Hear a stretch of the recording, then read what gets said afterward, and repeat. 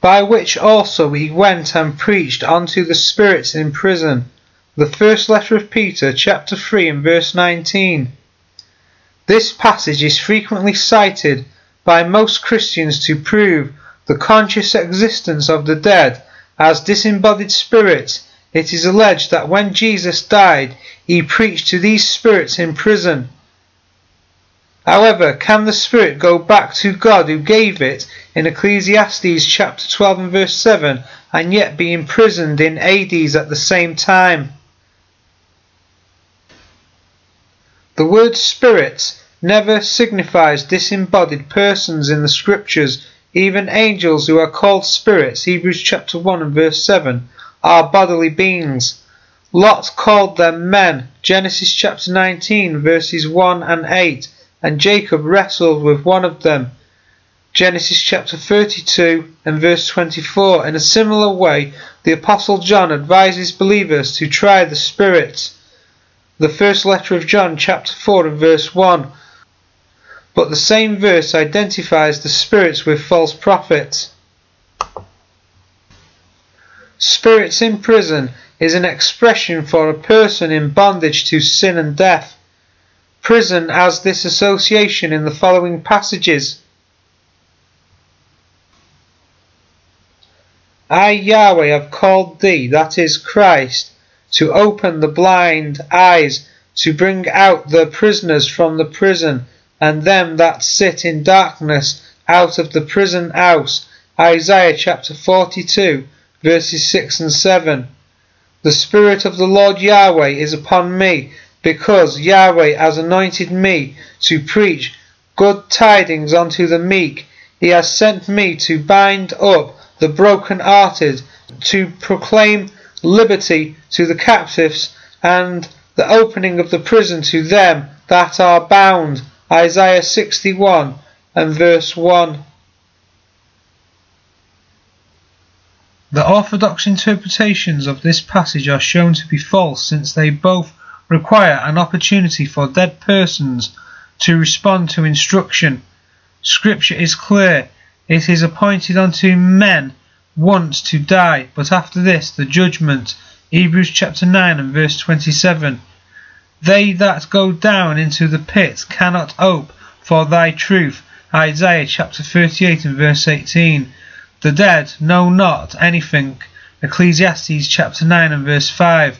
The dead in the first letter of Peter, chapter 4 and verse 6, were alive when preached to by Noah, but dead at the time of Peter's writing.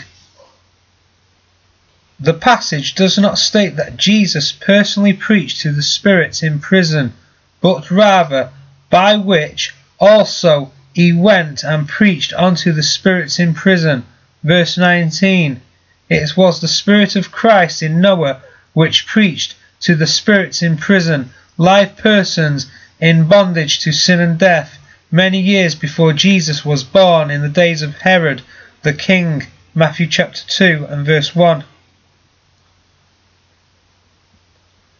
By means of the Holy Spirit given to the prophets, see 2 Peter chapter 1 and verse 21, they were able to speak as though they were Christ.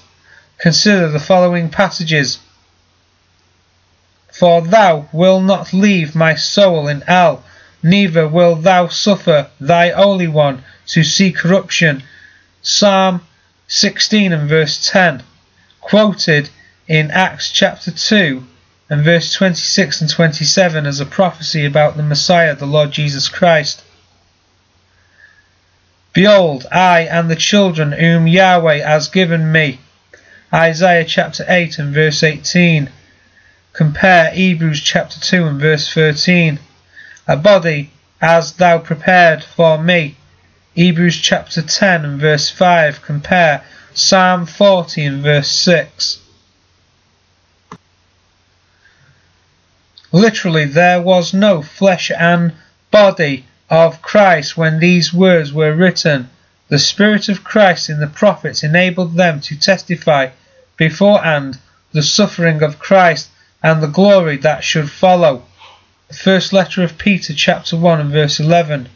Noah, a preacher of righteousness, Second letter of Peter chapter 2 and verse 5, being warned of God of things not seen as yet, moved with fear, prepared an ark to the saving of his house, by which he condemned the world and became heir of the righteousness which is by faith.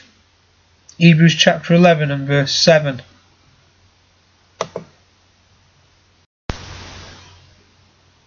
Peter, by inspiration, draws a figure. He says, The like figure whereunto even baptism does also now save us. The whole human race stands as a community of prisoners condemned to death on account of sin, even while awaiting the judicial sentence. They are all their lifetime subject to bondage. Hebrews chapter 2 and verse 15.